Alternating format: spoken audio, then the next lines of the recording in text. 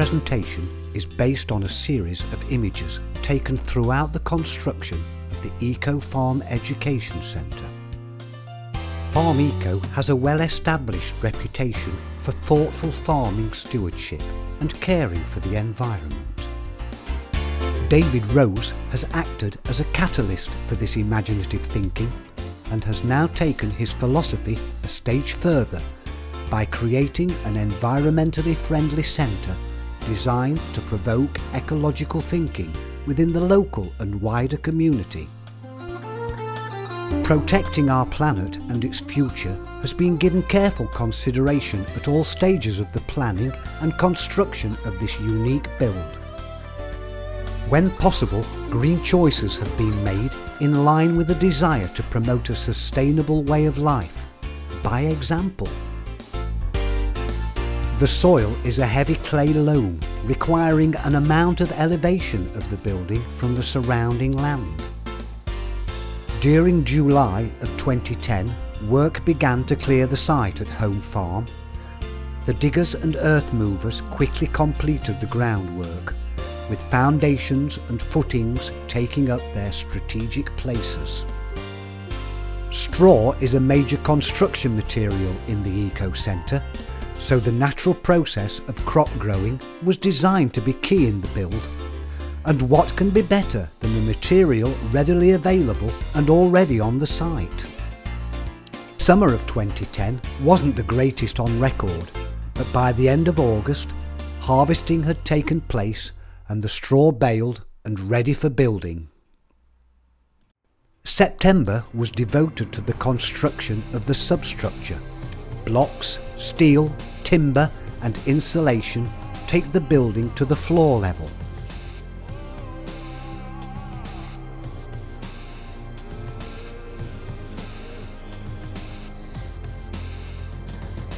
and shortly after, the walls and roof begin to take shape. The first bale is carefully positioned in the back corner. This precise placing is checked for being level and square, and the rest of the back wall quickly takes shape, especially when the bales are so large.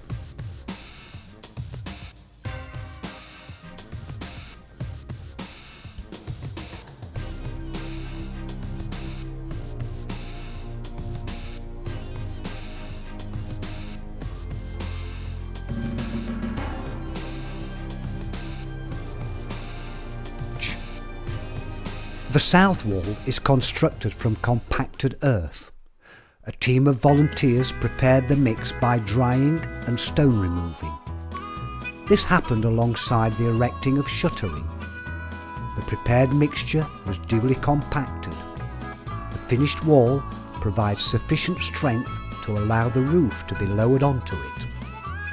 In a natural process, the sun shines through the triple glazed windows onto the earth wall heats it up and then acts as a storage heater for the main room. Nature's natural heating. This is the team of volunteers who completed the task. The two side walls are also constructed from straw bales and they were infilled once the roof was in position. Willow stakes were used to pin the bales and to add strength, particularly in the corners. As autumn turns to winter, the timber construction begins to reveal the full outline of the centre.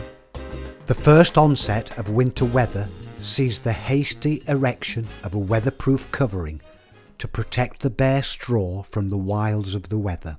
And in December and through January, we endured heavy snow, some of the worst weather seen for many years.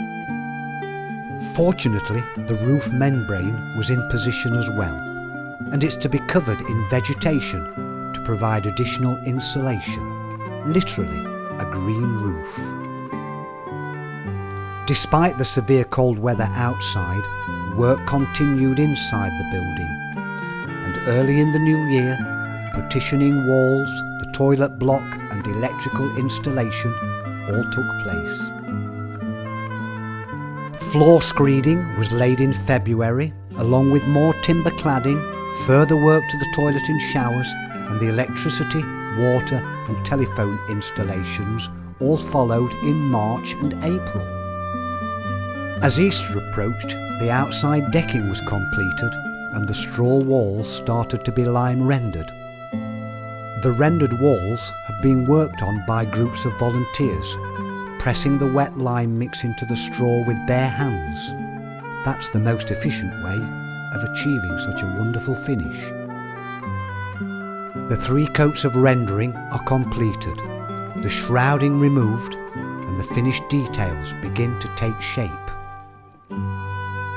During its construction, the Farm Eco Centre has developed a life of its own by creating a network of interested and enthusiastic supporters. Most of you viewing this presentation are likely to be visiting the finished centre with landscape surroundings and a busy programme of events and activities. This building, as a physical example, represents the challenge faced by us all. Farm Eco Education Centre sits squarely as a beacon within the challenge.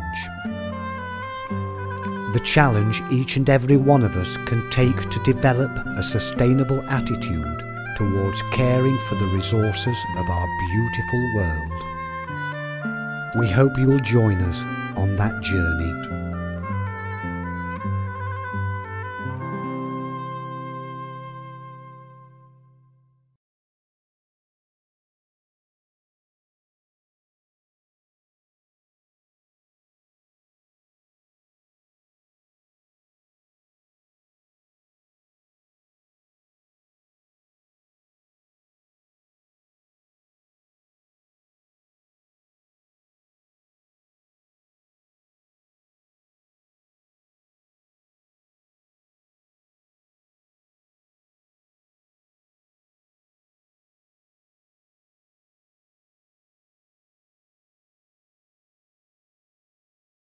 Represents the challenge faced by us all.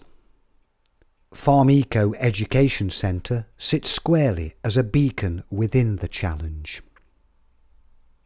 The challenge each and every one of us can take to develop a sustainable attitude towards caring for the resources of our beautiful world.